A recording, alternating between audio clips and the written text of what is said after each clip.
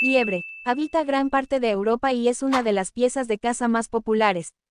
Este pequeño mamífero es muy escurridizo y veloz, pues en carrera alcanza los 60 km por hora, lo que le permite escapar con gran facilidad de sus depredadores.